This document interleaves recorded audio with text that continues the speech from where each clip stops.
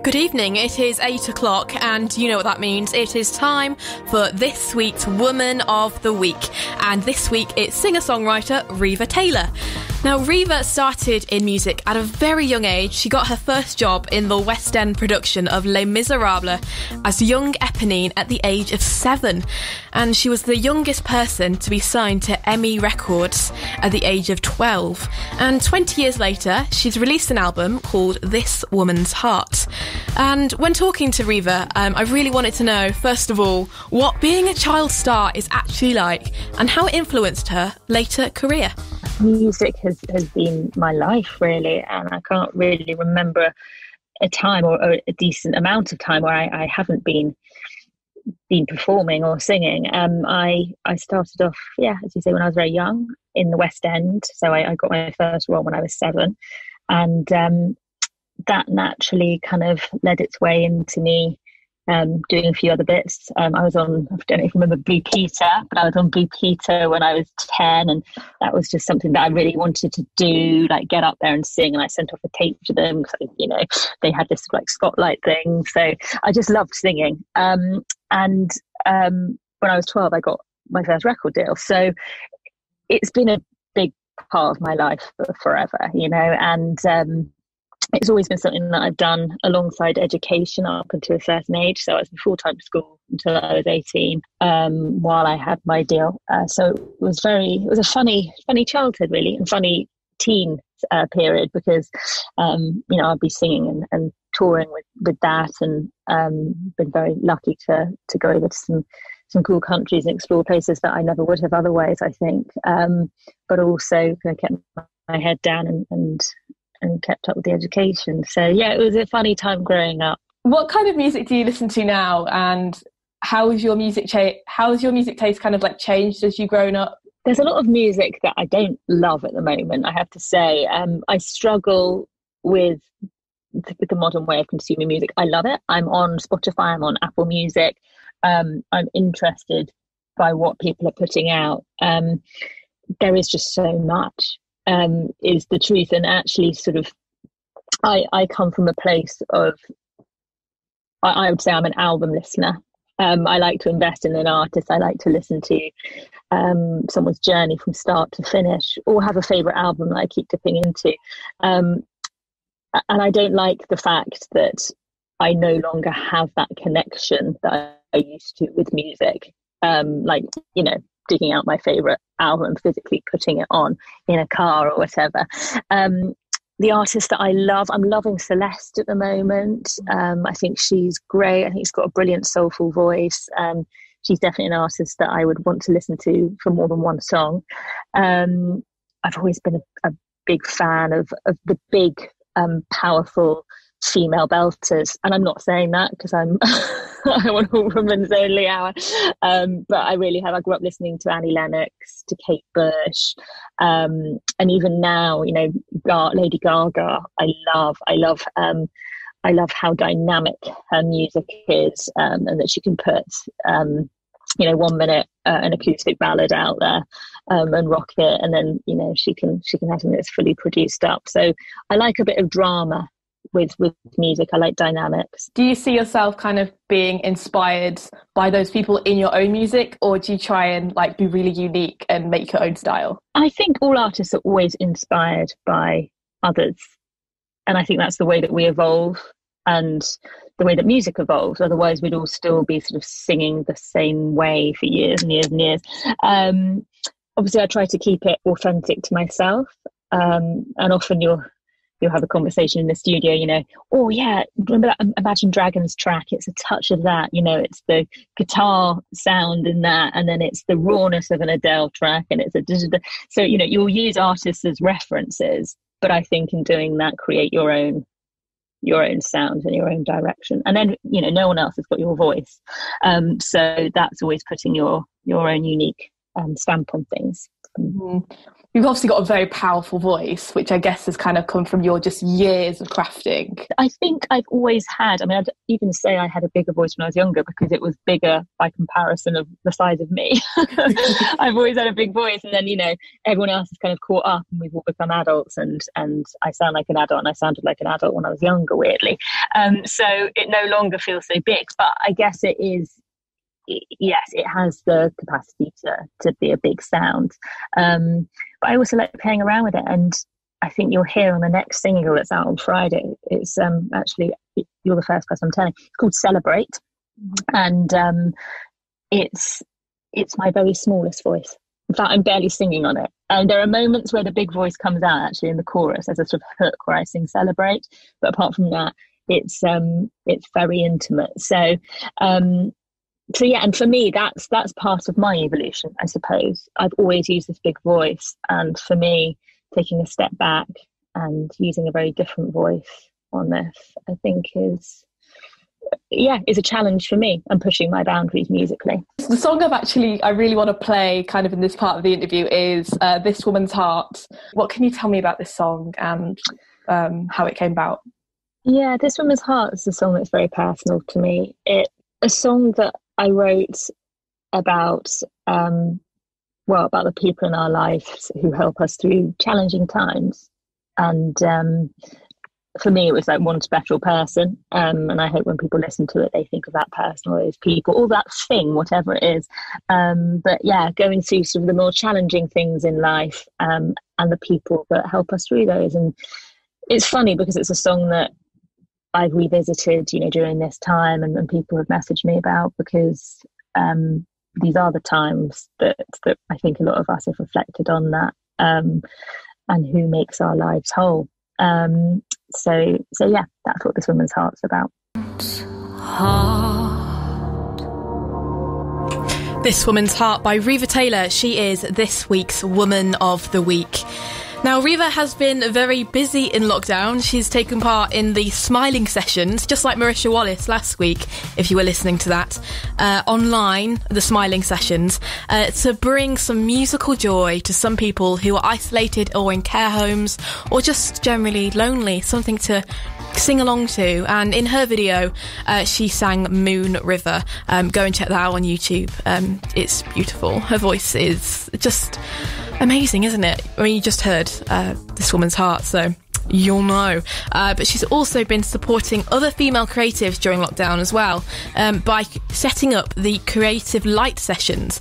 And this is a chance for women in her industry and women in the arts industry in general to virtually come together and talk about stuff that's important to them.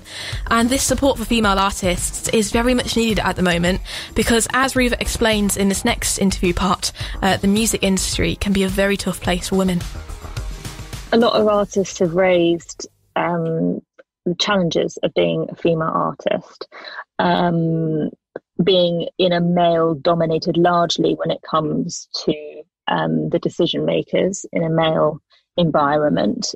Um, and also, obviously, the um, the sexualization of a lot of pop stars. Um, it's something that I've never, I don't know if this is because I started young and some people in the industry know of me as being this young girl still, perhaps, um, or whether whether I'm, you know, I, am not doing the sexy thing sexy enough. but it just hasn't. It hasn't been an issue for me, which I think is a really good thing. Um, I work with teams of men and women. A lot of a lot of the people I work with are women, but my manager is a, guy, um, and I have never had an issue. So so yeah, I think it's about having your wits wits about you in the industry. Obviously, um, like I said, when I was younger, um, I was controlled by a, a big major label. Um, now I'm, you know, doing sort of quasi deal with a label, but I'm I'm running a lot myself. And again, that that I think tips the the um, the balance of control um, so you know, who's to say if I you know signed signed everything away that that we wouldn't encounter problems. Um, I think that can often happen, but I think at the moment because there's a lot of control with with me, which I'm so happy about, and I think being in lockdown has been um, a great time to show that where I've been able to work really closely with the team and, and decide with them do I release music or do I not? I know a lot of artists haven't been able to uh, release music in this time because um, you know the labels that they're bound to have said no no, we have to wait till we're out of this time, till we know what we're doing, till we have more money, till whatever it is. Um, I think that's been a real blessing, um, being able to just keep things going, because I think that's what we're all wanting to do now. One thing you have been doing, I saw, was the creative light sessions. Can, what can you tell me about the, the creative light sessions and, and how they came about? Was this a lockdown thing?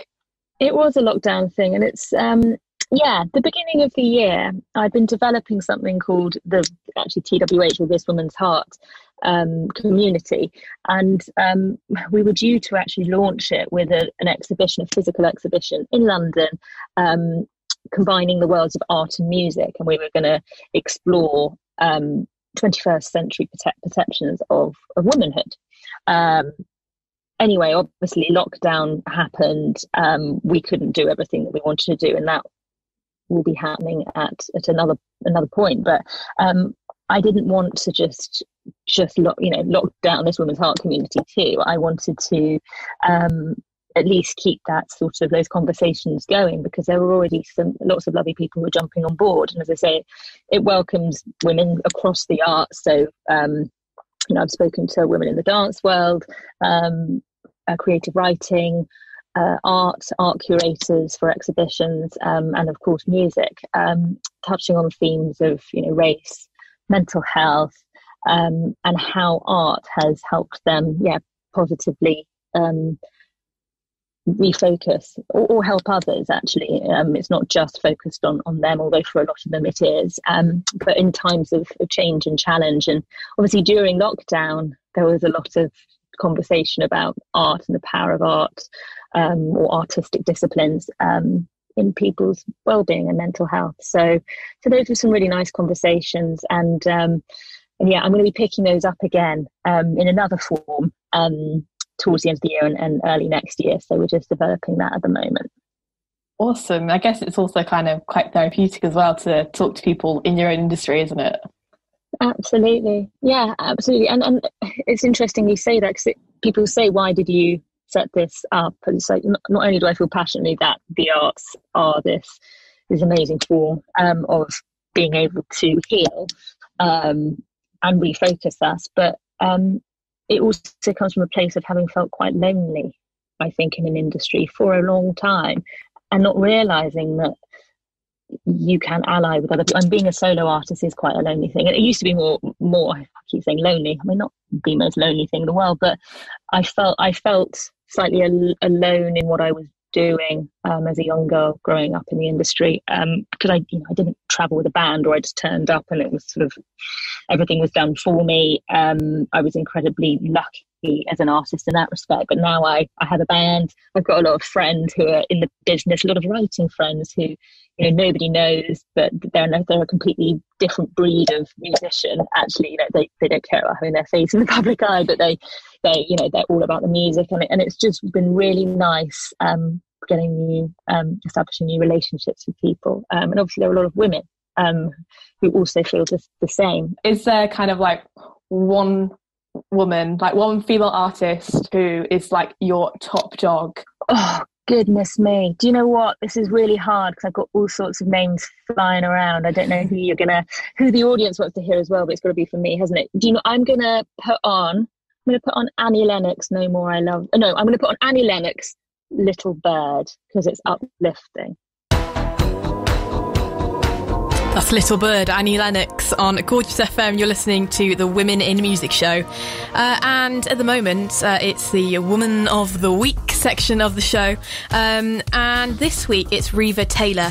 Uh, she's a singer songwriter from London. And in this final part of our chat, we talk about what the future holds for her. But more importantly, her new two part album, This Woman's Heart. The first part of the album is out now on all major streaming platforms, uh, but the second part will be out in the new year. The first part is all about heartbreak. Actually, it's the broken heart. It's the um, the darkness before the light. Um, so these first, the compilation of uh, seven songs on there, are very much touching. Not just you know sonically, some of them feel uplifting to listen to, but the sentiment is is a little bit deeper and darker. Um, so that's this woman's heart point one. This the second part of the album, of which I've released one song already. Uh, if I Could Ever Stop Loving You, and the next one, Celebrate, is coming out um, on Friday. They're about a positive future. They're about a resolved heart and about um, moving on through life and and um, being more accepting of a of, of the, the, reality and, and the present that you're in. Mm-hmm. Yeah, I absolutely love I Could Ever Stop Loving You. I was just, I, have been playing it on repeat ever since I just discovered you as an artist. oh, like, thank you. Powerful, isn't it? It's like, it builds throughout the song and it starts kind of like quiet and then it just goes into mm. like a proper big chorus. Um, yeah. Is that kind of? Would you say that's your favorite one that's going to come out like in on the next album, or oh. have you got like a favorite song out of this woman's heart in general? I it's such a difficult one because I I fall I don't want to say I fall out of love. I never fall out of love with songs, but I fall back in love with songs. Um, again and again. This woman's heart for me is in the song. Um, it is one that will always have a place for me. Um, on this next part of the album, I love If I Could Ever Stop Loving You. I actually wrote it a few years ago now. While most of the songs on the second part are actually written in lockdown, um, that one was written a few years ago, and it just felt like this was the right moment to release it. Uh, but actually, because there's such a, a, a difference in the dynamics of shift between the songs, there's I, I, love celebrate for completely different reasons. Celebrate's about about grief. It's about the very sort of the very um, saddest form of loss, um, something that we all either have experienced or sadly will experience in life. But it's about accepting and celebrating um, life and, and, allowing people to move on um, out of this life. So it's it's quite a deep song, um, packaged up in a very fragile way. Um, so that has completely different um, connection for me and a very special place as well. so I can't give you an answer because there are other, there's another song called Magic. I'm, I have not told anyone that name, um, but there is a song called like Magic, and and that's a really exciting song for me. It's quite a raw. I wrote it in Nashville, a raw sounding, almost like Stevie Nicks, modern Stevie Nicks kind of vibe, and and it feels like with that song I've sort of tipped into a slightly different space, um, a future space um, of possibly where where I am now um, which which is something that's quite excited me. What's in the future for for Riva Taylor? What have you got planned, and are you planning to do any more stuff in lockdown? Kind of like any live sessions or um, what what does the future hold yeah, for you? The future hold. Um, so obviously I've done like you know the music videos this week. We're releasing the next single. Uh, I'm doing a live session actually, um, just me and, and a musician, end of next week. So that's going to be coming out virtually. Um, and uh, that's quite exciting. Um, so that's this side of Christmas. Then it's a new single next year, um, followed by the album. So, um, in terms of live, I mean, unfortunately, we can't really get out and perform live at the moment. Um, and I know the live world and my agent's very frustrated by that. um, but we're keeping hopeful, and and hopefully we will be really soon.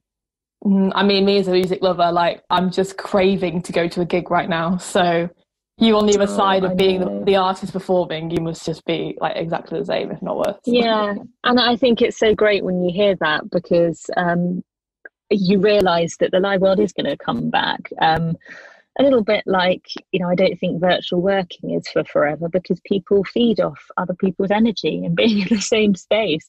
So um, you know, we do have to have live live music again because um, it's it's a two way process, isn't it? Um, I, I love performing live because I love performing to people and hopefully they, they like the same thing. So um so yeah. And finally I am gonna play If I Could Ever Stop Loving You just because it's a total banger. Can you describe this song? Yeah, If I Could Ever Stop Loving You is um is a song about acceptance. It's a song about instead of looking at a relationship and love um, and something a happy chapter ending and seeing it as forever um, it's it's about um, again to use that word celebration. It's about celebrating love, and that actually love can continue to exist for somebody out of respect, even if you're not together. So, um, so yeah, I think it's got that kind of euphoric feeling of being like I've moved on from you know from a situation from from a relationship um, that meant a great deal to you, but mm. um, but that that and you still have that love for that person, um, whatever they choose to do, um, and whatever you choose to do. So um, so yes, it's it's a resolved and accepting song about love. Can you now um, introduce your song in true radio style uh, for Gorgeous FM? Of course. Uh, thank you for listening. Um, I am Riva Taylor, and this is my latest single, If I Could Ever Stop Loving You.